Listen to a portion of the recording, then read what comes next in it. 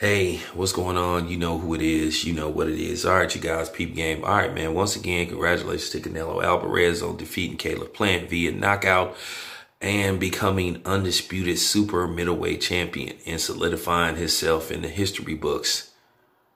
You know, I got a lot more Canelo talk to talk about. You know, um, especially how he's going to be forever tied to Floyd. You know, so um, I'm gonna break that down too. But this is just real talk. You know, um, I've said this before and I stand by what I say. To me, it's a neck and neck battle. It's a back and forth battle with Terrence Bud Crawford and Canelo Alvarez for number one pound per pound. I don't give a damn what Marco say. I don't give a damn what Ellie Seckbach say. I don't give a damn what nobody else say. This is my channel. This is how I feel.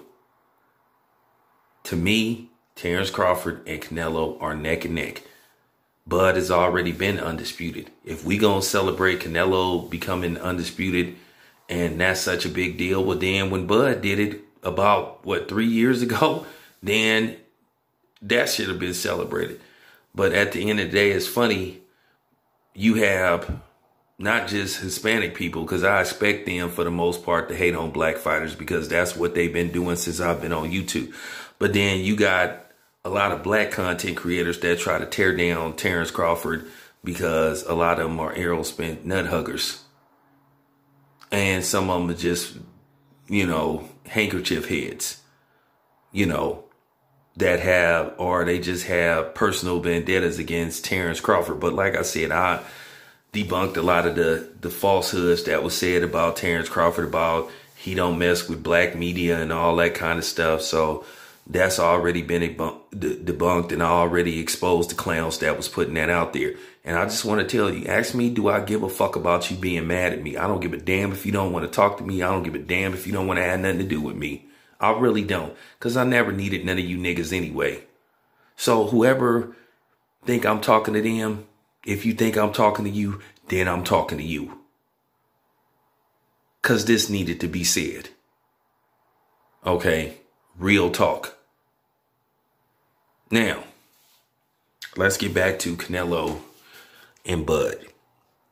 Like I said, it's a battle for number one pound per pound.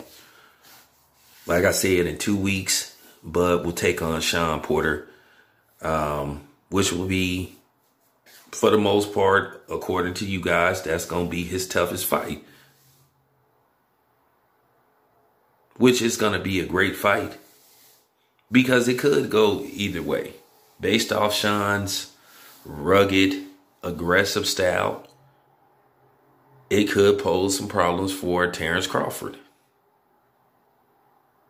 Like I said, may the best man win.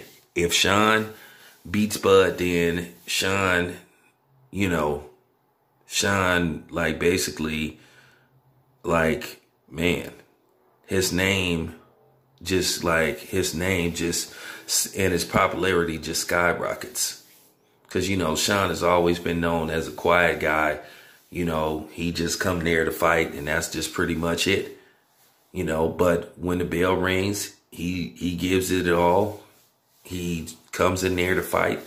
You know, sometimes you may not like Shawn's fighting style, but at the end of the day, he tries to win. He does whatever it takes to win. And I can appreciate that. And if you look at all of Shawn's losses, this is just real talk.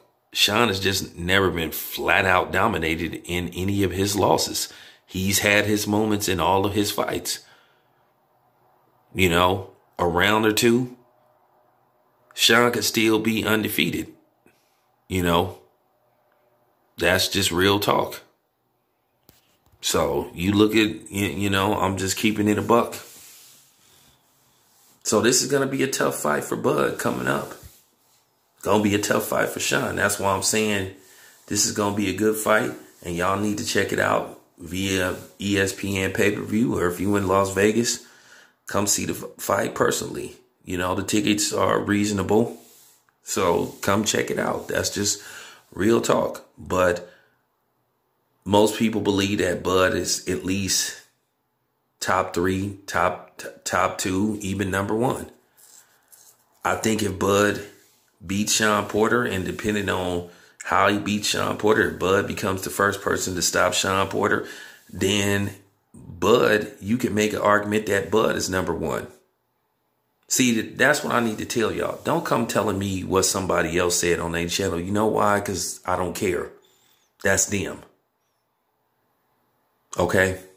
That's them. How they think isn't necessarily how I think. They're entitled to their opinion, just like I'm entitled to mine's. I'm not here to be your friend, and I'm not going to say what you want me to say because it makes you happy because you may not, you know, be a Bud uh, a Bud Crawford fan, or you may not even be a Canelo fan. I'm just telling you the truth from my perspective. I feel it's out of Bud and Canelo for that number one spot. And there's nobody that's that you can throw in there that can either be number one or number two besides Bud or or Canelo Alvarez. Now, Usyk he's getting close based off what he did with Anthony Joshua. If this dude goes in there and he defeats Anthony Joshua and then uh, he lock horns with Tyson Fury and he finds a way to beat Tyson Fury, then then Usyk is in that argument as well, but not quite. Inoue, still got a ways to go. I don't even have him in the top five, and I think it's appalling that some people are trying to put him in the top five. Hasn't done enough, you know. So, like I said before, as far as that number one spot go, it's either Canelo or Terrence Bud Crawford. Take your pick. For real, no disrespect to me or to any of the subs. Let's talk like adults. No name calling.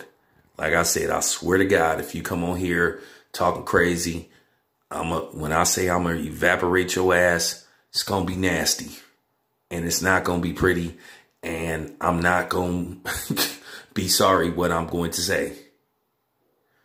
This your boy Town Biz. I'm out.